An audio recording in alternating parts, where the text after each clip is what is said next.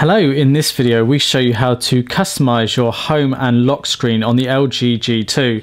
So here we've got our home screens on the G2, but these are fully customizable. We don't need to leave them the way they are or the way they come out of the box.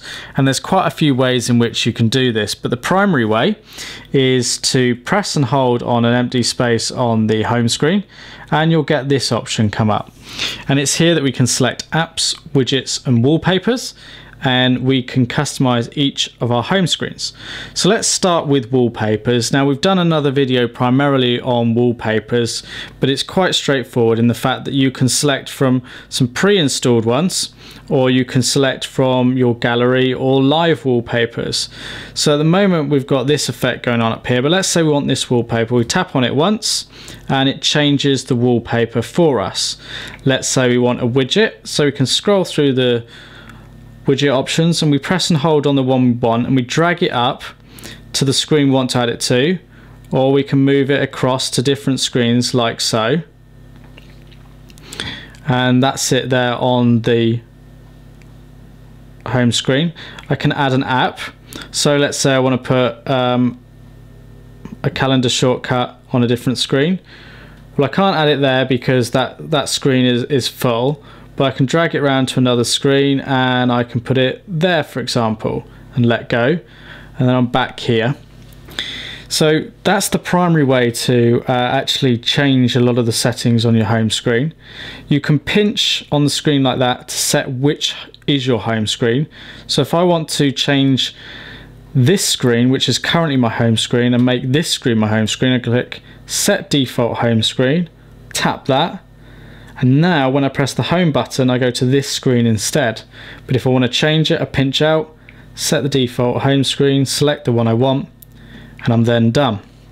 I can also do things by like pressing and holding on things that are already on the home screen and then perhaps move them to the bin if I want to get rid of them. Or if I want to put the gallery shortcut on a different screen, I move it around like so and move it about. So that's one way of doing it.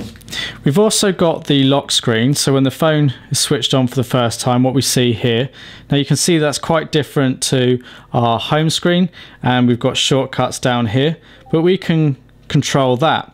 Now to do that, you need to go into the settings menu and that's via a shortcut from your home screen, from the apps tray or from the notification bar. And under display, you've got an option for lock screen and there's a few options under here but it's whether you've got things like uh, the weather animation. You can select the wallpaper for the lock screen either from a wallpaper gallery or the phone gallery of images we've taken. So we can go and make it the same as our home screen. So I choose the one I want and click set wallpaper that's the wallpaper changed. I can also click shortcuts and change what shortcuts appear at the bottom of the screen. So at the moment we've got phone, messaging, notebook and Google.